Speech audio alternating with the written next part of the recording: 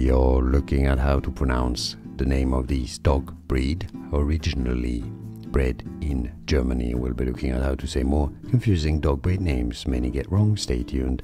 Weimaraner is how it's said in English. Now, in German, it'd be said more as Weimaraner. Weimaraner. So, yeah, but in English it is admitted to be said, pronounced as Weimaraner.